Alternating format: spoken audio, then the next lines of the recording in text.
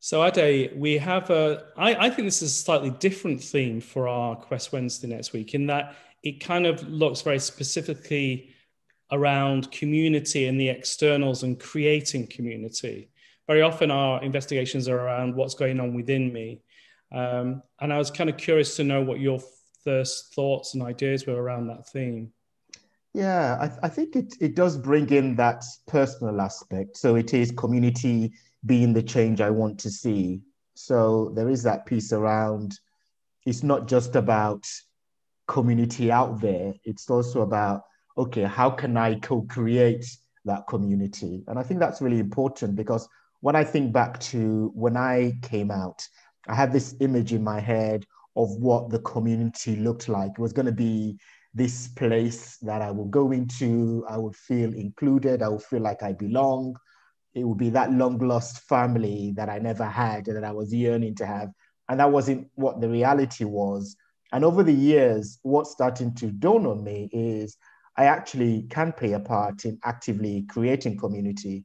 So when I think of the Quest Wednesdays that we've been running now for over a year, when I think of the Quest, you know, entity that we've been running for coming up to 10 years, I, I think of community actually. I think of that active participation and active creation. And that takes work, that takes vulnerability, that takes courage to do all of that rather than just sitting hoping that it magically appears.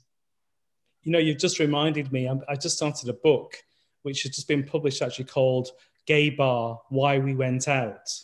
Ooh. And it's really, yeah, it's really interesting. The guy that was written it, he writes from his personal perspective and he talks about bars in America and he talks about bars and the scene in the UK. He talks about the Royal Vauxhall Tavern, so places that I'm familiar with. And he talks about it from the experience of what is what is the communal experience of that? What, what were our expectations and what was the reality? Um, but also, where does it fit in society? So, anyway, that was just reminding me of that book. But the other point that you said around agency, about the ability to co create, I think is really important. And it was a, quite a few years ago, I realized I was in a, in a nightclub and I thought, you know, why doesn't anyone come up and ask me to dance? Or why doesn't any, anyone ask me if I want a drink? Or, and I thought, I looked around and I thought, we're all waiting for someone else to ask us for a dance.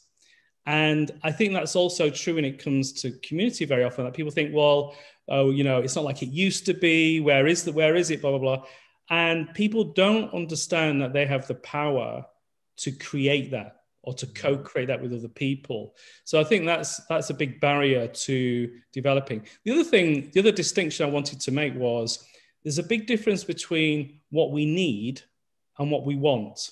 Mm. And I think when I think of the quest, very often we base that on need based on data that was showing mental health issues and the prevalence of suicide and depression, etc. So there was obviously a need for it, but did people want it?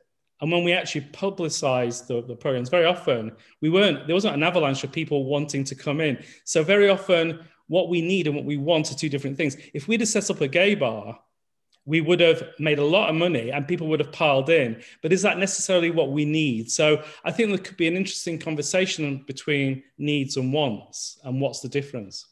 Yeah, I love that. I love that distinction. And I'm looking forward to the conversation. I think it's going to be a very rich and um, thought provoking one. Yeah, me too. Looking forward to it.